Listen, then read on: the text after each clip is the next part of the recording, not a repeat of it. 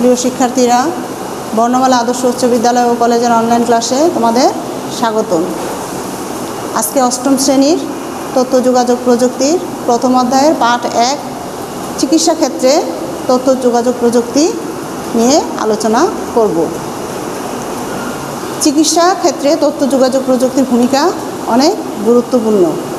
তথ্য যোগাযোগ প্রযুক্তির কারণে বিভিন্ন ক্ষেত্রে, বিভিন্ন উল্লেখযোগ্য ক্ষেত্রে অনেক অবদান রেখেছে প্রযুক্তি।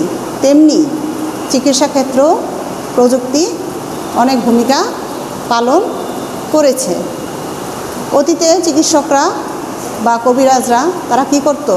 রোগীর লক্ষণ দেখে অনুমান করে চিকিৎসা করে থাকতো, ওষুধ দিয়ে থাকত। কিন্তু বর্তমানে আরও কিছুদিন আগে থেকে চিকিৎসকরা কি করে? রোগ নির্ণয় করে সঠিকভাবে, সূক্ষ্মভাবে রোগ যাচাই করে তারপর ওষুধ প্রদান করে থাকে, চিকিৎসা দিয়ে থাকে রুগীর। রুগীর চিকিৎসা দেওয়ার পর তথ্যগুলোকে কি করতে হয়? ডাটাবেজের মাধ্যমে তথ্য জমা করে রাখা যায়। তথ্য, যোগাযোগ প্রযুক্তির কারণে, প্রযুক্তি ব্যবহার করার কারণে রুগীর তথ্যগুলোকে ডাটাবেজের মাধ্যমে পর্যালোচনা করা যায় এবং সেগুলো জমা করে রেখে দিলে ভবিষ্যতে যে কোনো সময় সেই তথ্যগুলো আবার খুঁজে বের করে দেখা যায়।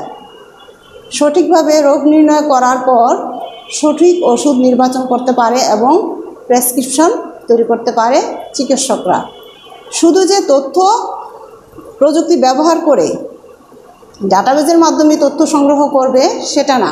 প্রযুক্তি নির্ভরের জন্য চিকিৎসা ক্ষেত্রে নতুন নতুন যন্ত্রের আবিষ্কারও হয়েছে।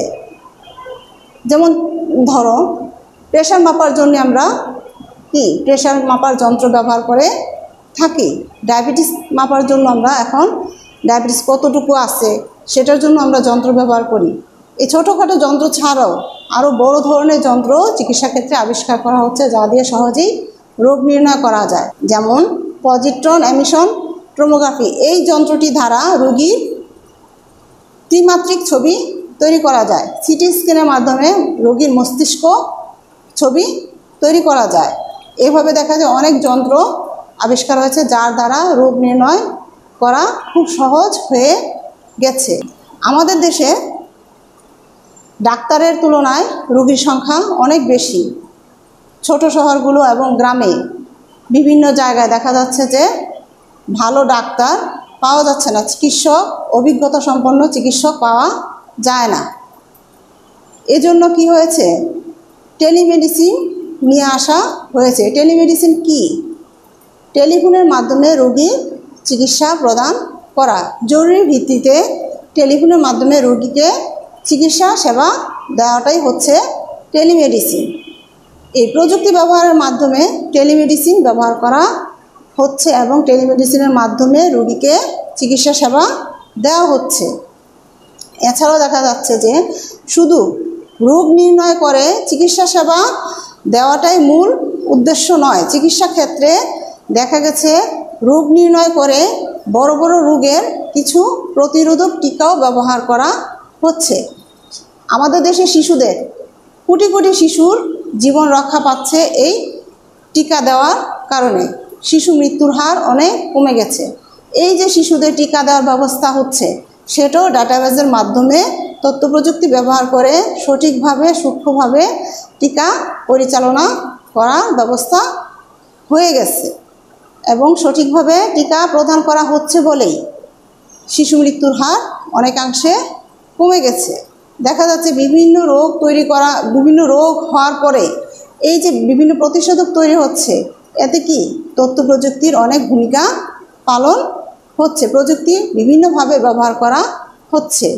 দেখা যায় যে চিকিৎসা ক্ষেত্রে অনেক উন্নতি সাধন করা হয়েছে, তারপরেও মনে করা যায় না যে আমরা সম্পূর্ণভাবে সফল হয়েছি। চিকিৎসা ক্ষেত্রে রোগের প্রতিষেধক তৈরি করার জন্য আমরা সম্পূর্ণভাবে সফল হইনি এখন পর্যন্ত। তারপরে দেখা যায় বিভিন্ন রোগ সৃষ্টি হচ্ছে, তার সাথে সাথে আরও বিভিন্ন ধরনের চিকিৎসা সেবা তৈরি করার জন্য প্রযুক্তি আরোভাবে উন্নতি করা হচ্ছে।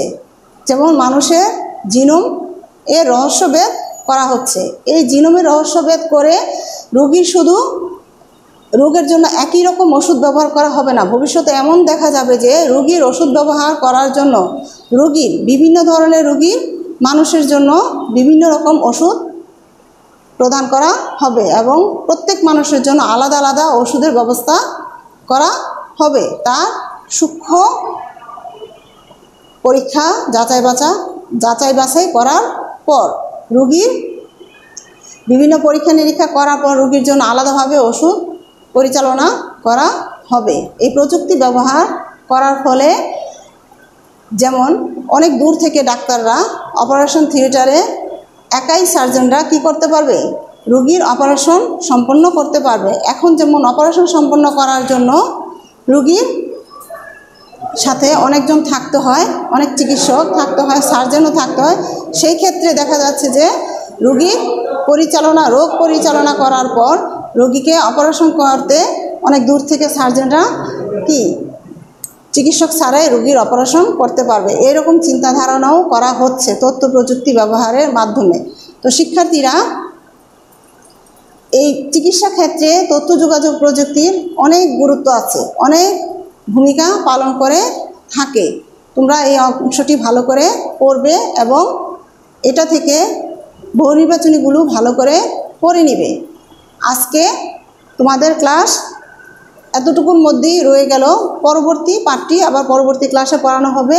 ভালো করে পড়ালেখা করবে। তোমাদের মঙ্গল কামনা করে আজকের ক্লাস শেষ করছি। ধন্যবাদ।